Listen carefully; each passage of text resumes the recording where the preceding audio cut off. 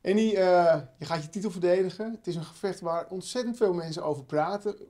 Veel mensen vinden het een soort van een onterecht titelgevecht of een raar titelgevecht. Wat vind jij van je aankomende gevecht? Als mensen veel over praten, is alleen maar goed. Dat is een reclame voor mij. dus, uh, maar uh, ja, natuurlijk, mensen hebben altijd, vinden er altijd iets van. De ene vindt het, dat hij het verdiend heeft terecht en de andere vindt het te snel. Ja, ik, ik wil er niet zoveel woorden aan vuil maken. Ik wil gewoon vechten en het maakt mij niet uit tegen wie. In dit geval is hij het en ik hoop dat hij er klaar voor is. Is het een gevecht voor jou wat extra moeilijk is, omdat je, het lijkt eigenlijk wel alsof je alleen maar te verliezen hebt? Ja, eigenlijk heb je als champ, als je het zo zegt, eigenlijk altijd alleen maar te verliezen. Want je hebt de belt en die willen ze afpakken. Um, ik wil gewoon het beste van mezelf laten zien, dat wil ik altijd. En uh, nu steeds meer zelfs. Want uh, ik heb nog lang niet alles van mezelf laten zien. En dat vind ik jammer. En uh, daar zijn we nu heel hard aan mee bezig. Wat heb jij nog niet van jezelf laten zien? Ik heb nog niet aan het nieuwe publiek laten zien hoe de oude agressieve Andy vecht. En dat zou ik graag willen laten zien. Mix de combo van technisch en slim. En uh, dat wat ik net zeg, ag agressief. Hoe kan dat? Ik ben voorzichtig gaan vechten door mijn carrière heen. Ik uh, begon agressief, op een gegeven moment ga je winnen, hoge podium. Het is belangrijk dat je wint natuurlijk, want dat zien mensen, dacht ik. Dus ik was alleen maar bezig met winnen, winnen, winnen.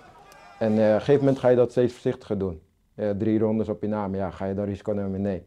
Terwijl je eigenlijk dat wel wil. Je wil in de kleedkamer zeggen, ik ben er vol voor gegaan. En ja, dat, dat mis ik bij mezelf een beetje. En het leuke daarvan is dat ik dan nog gevaarlijker word. Want ik denk als ik na drie rondes gewonnen heb en nog niet moe ben, dat ze beter de ring uit kunnen rennen. Is dat een beetje de druk van een kampioen? Dat is denk ik wel de druk van de kampioen. Uh, bijna zijn en dan op een gegeven moment Want bijna zijn is al oké, dan moet je blijven winnen. Maar als je hem bent, oké, je wilt het blijven. Dus dat is wel een valkuil daarin. Maar wat ik nu zeg, ik ben al uh, driemalig Glory wereldkampioen. Um, als ik een keer op mijn kont ga, ben ik dat nog steeds. Niemand kan dat van me afnemen. Dus nu is het tijd om gewoon uh, de mensen weer te entertainen. Is het in dat opzicht voor jou heerlijk dat je tegen een tegenstander als Anwar gaat vechten? Iemand waarvan je eigenlijk niks weet, ja, waarbij je eigenlijk ja, leeg erin kan gaan. Dat is zeker heerlijk. Uh, ook omdat hij gewoon ook wil knokken. Dus uh, hij gaat het niet voor wegrennen.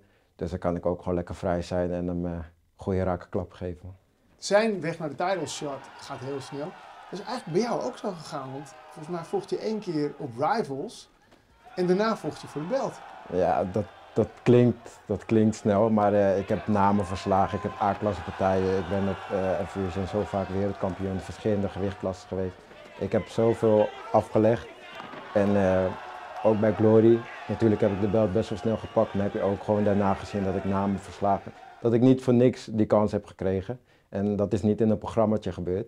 Het is natuurlijk heel leuk voor hem, maar uh, ze gaan het zelf merken dat het, uh, dat het een andere wegje is die uh, wij hebben bewandeld. Zeker.